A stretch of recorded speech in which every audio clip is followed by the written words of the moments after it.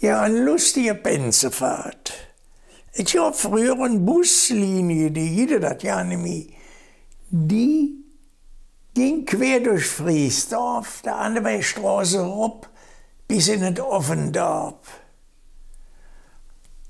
An Turnhus, da war eigentlich Endstation, da dreht der Bus drehen und fuhr wieder nach Blittersdorf. Aber da war noch lustige Schaffner mit drin. Die hatten also noch einen Fahrer und einen Schaffner. Der Schaffner, der war ein Friesdorfer.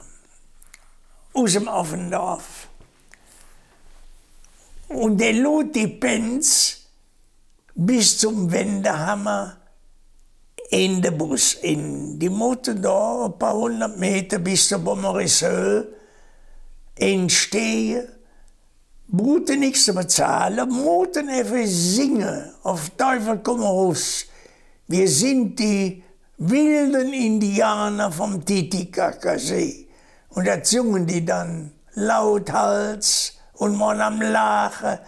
Und als der Bus dann das gute Stück von der Bommerissöll wieder zurück zum Turnus fuhr, luden alle ob der Bus mit dem Pensier sang.